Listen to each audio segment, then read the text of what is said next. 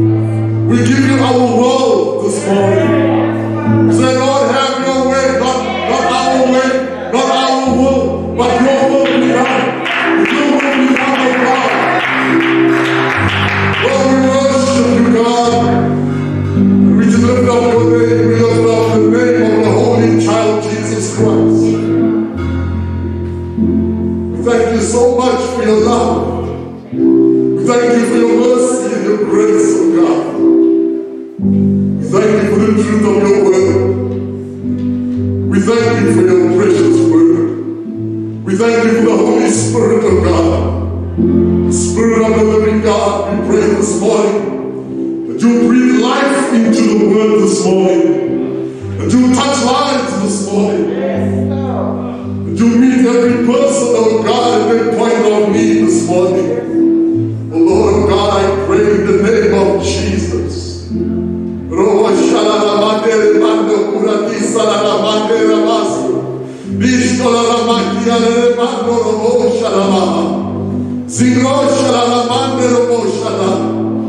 Restore your people, O God. Restore your people. Oh Lord, and find comfort and rest in you, O God. It is you, O God, who leads us, O Lord, besides the still waters. You restore our souls, O God. I thank you this morning that there is a rest for the people of God. And that resting is found in none other than Christ Jesus, your Son. So we worship you. We adore you, we praise you, we exalt you. We lift up your name in this place. In the name of Jesus. Every child of the Most High God said aloud, Amen.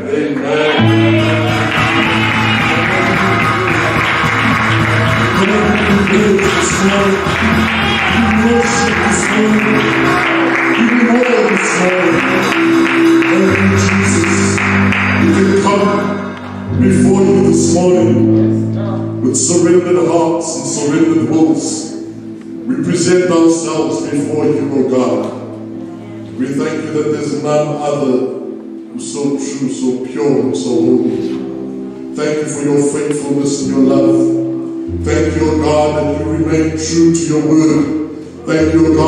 as you have said in your word, you will never leave us nor forsake us. Thank you, God, just as you have declared, O God, that you are, O Lord God, the God who was, the God who is, the God who is to come, the God who will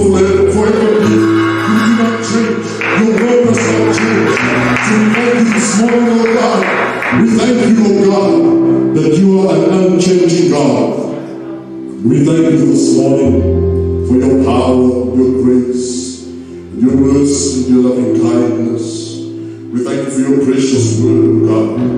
We thank you for the angels. Thank you for the angels. Thank you for the angels. We thank you, Lord, oh God, for the gift of the Holy Spirit. Holy Spirit, have your way this morning. Have your way, have your way. Teach us your ways this morning. Reveal to us, O God, for our lives. I thank you that there will be transformation in the lives of God's people this morning. I see people being changed. I see them being renewed in the name of Jesus. I see those who are weak being, being strengthened this morning. I see strength coming to you. I see health coming to you. I see help coming to you. The Lord is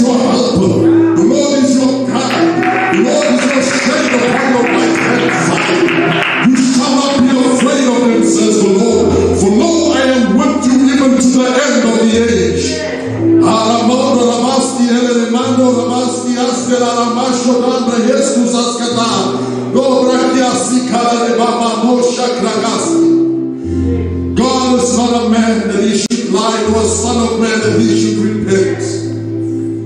Has he not said and will he not do it? God is ready to perform and to fulfill his word in your life. If you believe it this morning, if you receive it by faith this morning, God is bigger than your circumstance.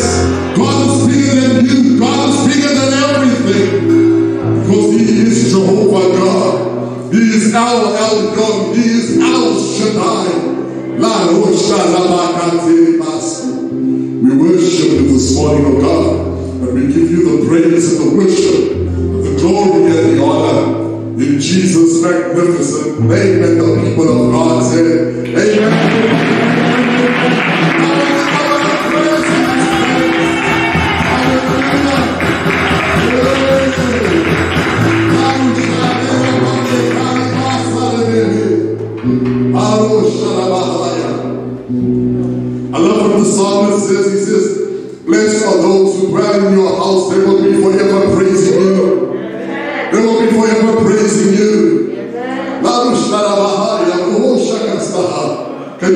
Say that I'll be forever praising him? I will praise him, I will praise him, I will praise him. From the rising of the sun to the setting of the same, I will praise him because he remains the same. He is steadfast, he is steadfast, he is steadfast, he is steadfast,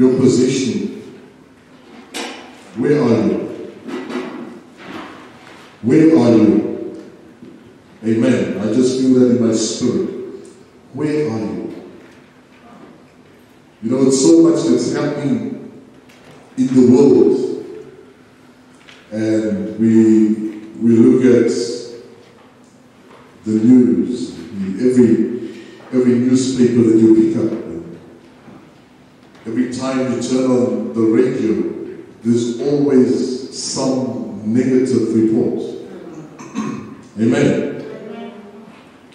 But uh, honestly, we need to guard our hearts in times such as this. I said we need to guard our hearts. Amen. And I want to share with you from, say, Mark's Gospel in chapter number 4. And I want to share with you from verse, I'm going to pick up from verse 13. We know that Jesus told a parable. The parable of the sower and the seed. We're all familiar with that. Amen. And in verse number 13, picking up from there, the preceding verses, we find the sower sowed seed on. There were four types of ground. The first ground was the wayside. Someone say the wayside. And the second ground was the stony ground. Someone say stony ground. The third was among the thorns. Someone say among the thorns. And the fourth and last type was the good ground. So there are four types of ground. And that is that's indicative of the heart. The heart of man. And in verse number 13, Jesus says to his disciples, He says, Do you not understand this parable? How then will you understand all, all parables? The sower sows the word. The sower sows the word. And these are the ones by the wayside. These are the ones by the wayside where the word is sown.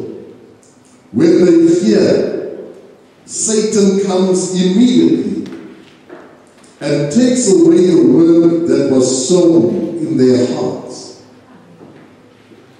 So Satan comes to steal the word, lest they should believe and be saved.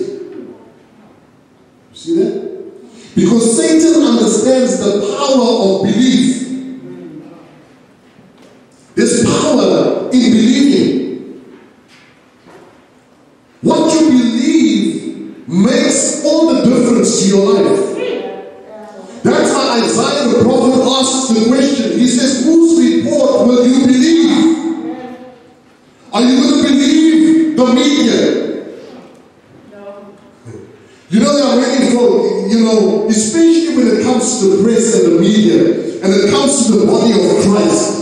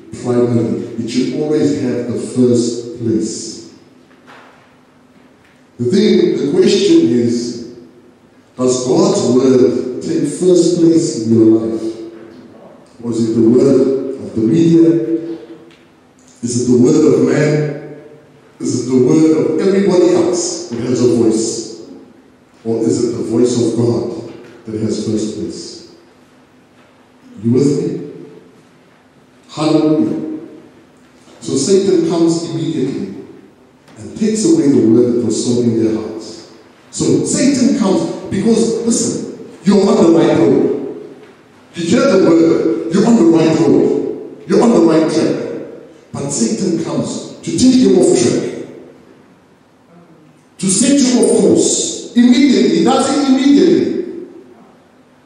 Without you even realizing it.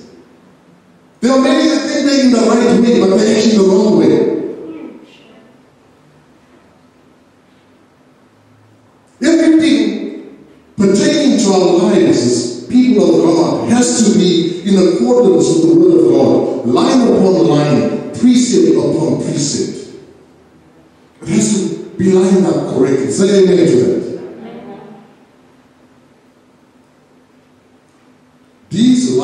verse 16.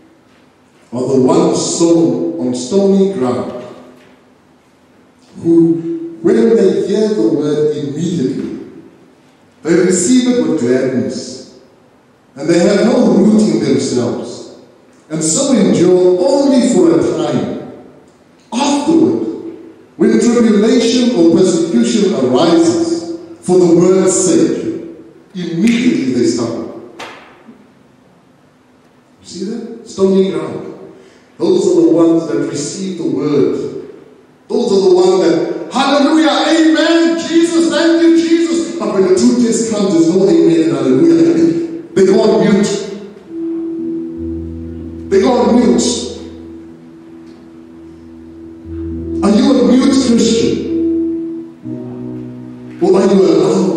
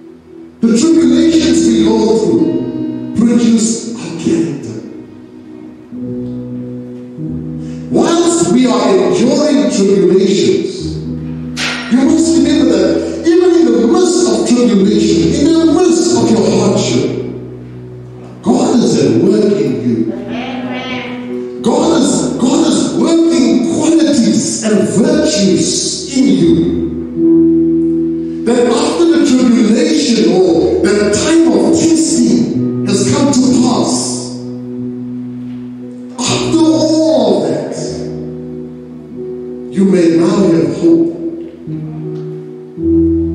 You have hope in God, a steadfast hope. To put it another way, you have confidence in God. You have confidence in God and you have confidence in His Word.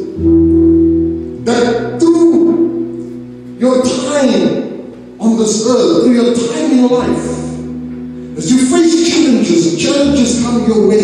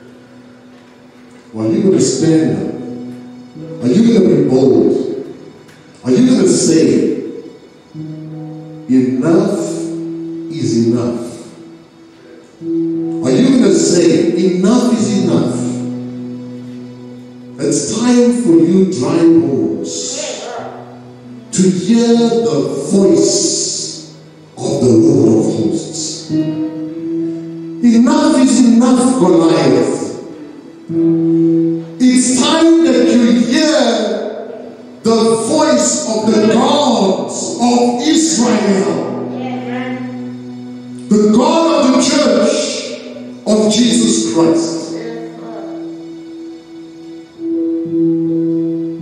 You shut down our churches.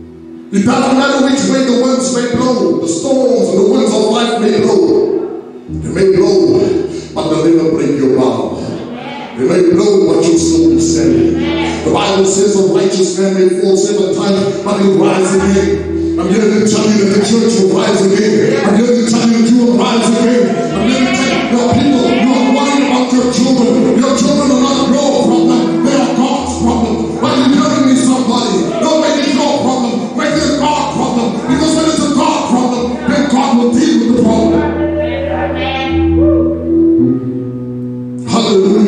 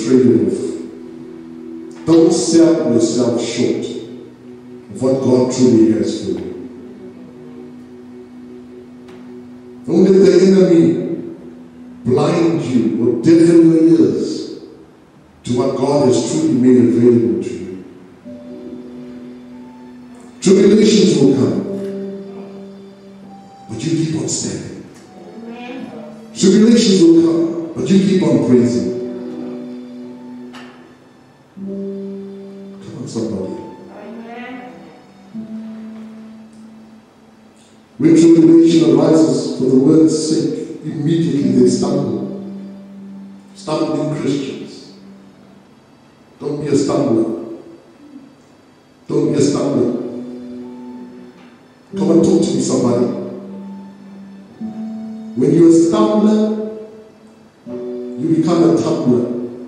And that's what you will always have in your life is a tumbler. When God has set the ocean before you, you don't hear the tumbling. Stand strong in faith. Stand strong in the word. Hold on to the promises of God. He goes on to say, Now these are the ones sown among the thorns. Someone say the thorns. Among the thorns. They are the ones who hear the word and the cares of this world, oh boy, the cares of this world, the deceitfulness of riches, and the desires for other things entering in, choke the word, and it becomes unfruitful. You see that? The word in itself, the word is a seed. So what does a seed do?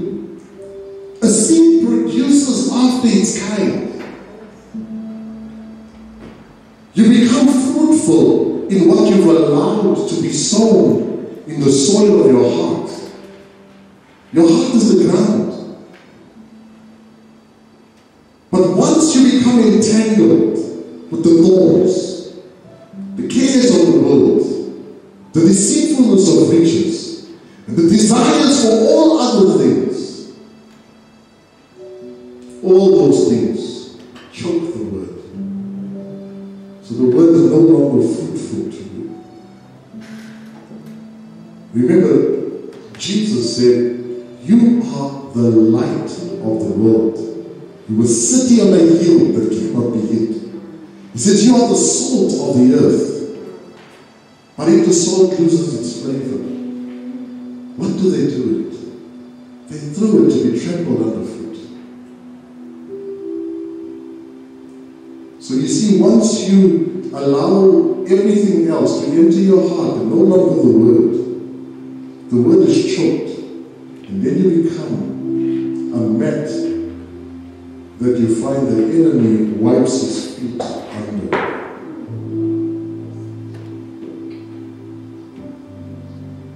Here's the word.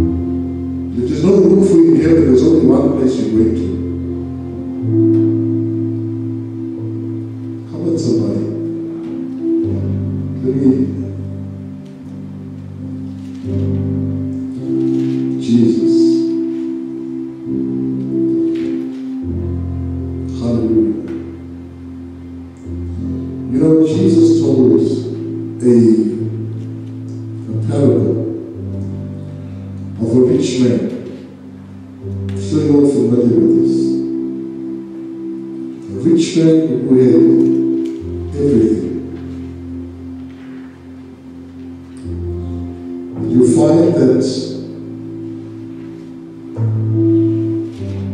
this man got to a point where he says, I'll build for myself bigger granaries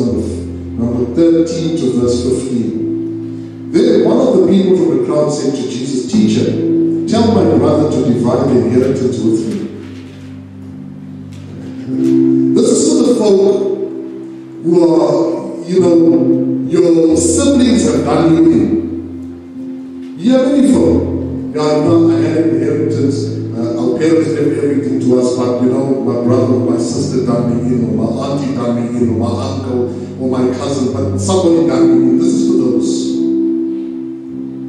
Jesus said to him, Man, who made me a judge or an arbitrator over you? And Jesus said to them, Take heed and beware of covetousness. For one's life does not consist in the abundance of the things he possesses. I've had an opportunity to minister to people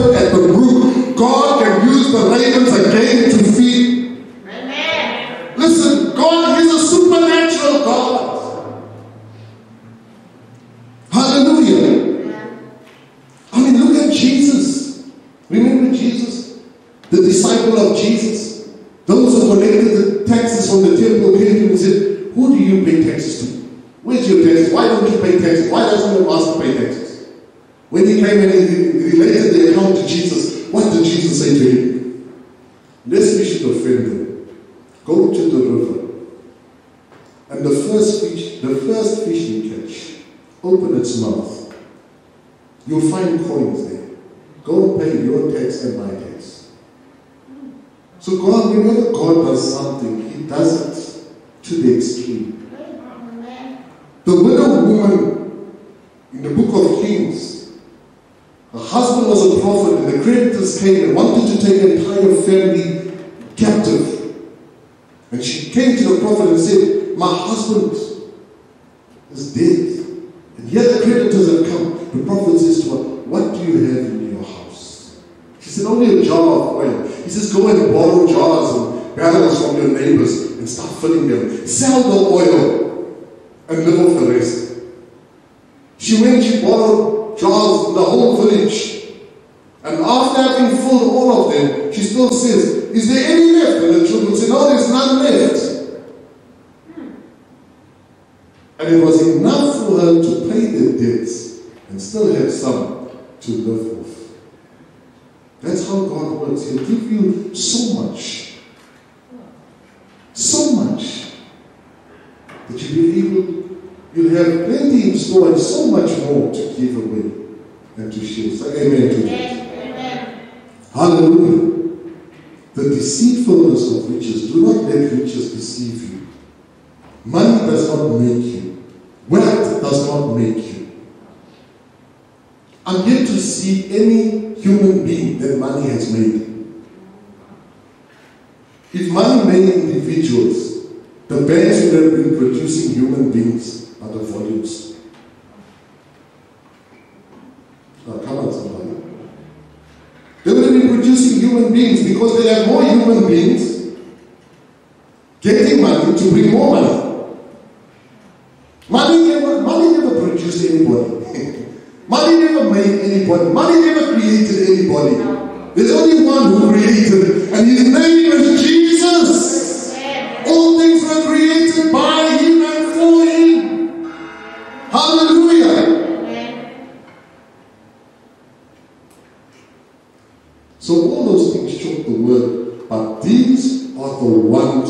Sown on good ground. The ones sown on good ground are those who hear the word, accept it, and bear fruit. Some 30 fold, some 60, and some a hundredfold. The question is, where are you positioned this morning? Where are you positioned today? How's your heart today? Is your heart in the world or is your heart in the things of God? It's, you know, it is scandalous. And it's a shame. How many, even prior to the pandemic, I'm not speaking pandemic, I'm speaking prior to the pandemic, prior, prior to this um, COVID 19 corona story, prior to this, how many you'd find them on the day they're supposed to be in the house of God, you find them in their droves in the supermarkets, you find them in their droves in the shops, at the malls, at the cinemas, in their droves. They never ever late for work, but they late for church. They never ever skip work, but they skip church. I'm speaking post. Mm, I'm sorry, pre pre pandemic, pre pandemic, before the pandemic, before Corona. You found it all over, busy with everything else, and neglecting the house of God, neglecting the spiritual life. That even when this thing came to light, and they closed up the churches, many churches were closed, and everywhere was closed. You found people even, you know, posting remarks of why I don't have to sow, I don't have to pay my tithe. Let me tell you, when it comes to your offerings and your tithes, that is between you and God. That is your worship. Your worship is not complete without that. Oh, Jesus. Listen, it is accepted. The Bible says, let each one give as he purposes in his heart. As he. You know what's the most shameful thing? Is that we have ministers trying to manipulate people to sow their tithes and offerings so they don't get corona.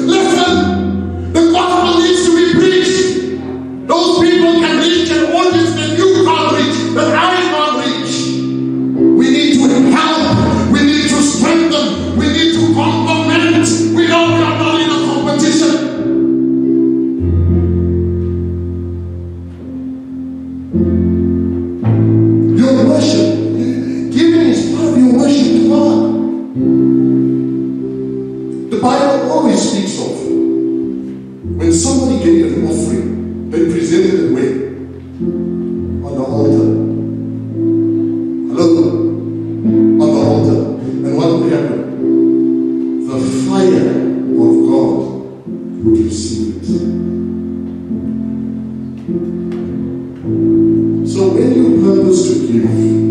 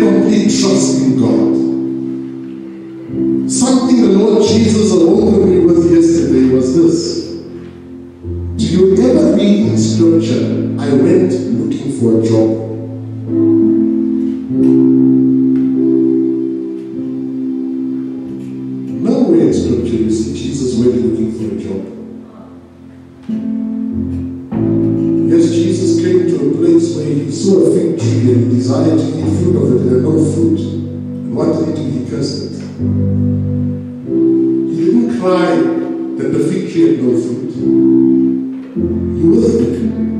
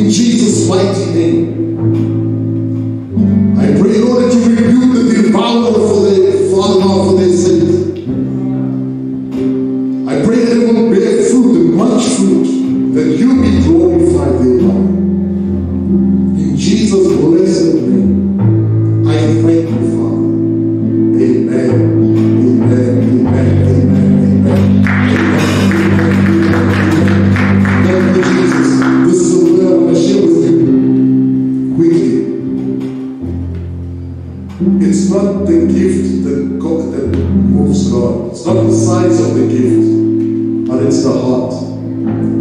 Jesus posed the question which is greater? Which is greater?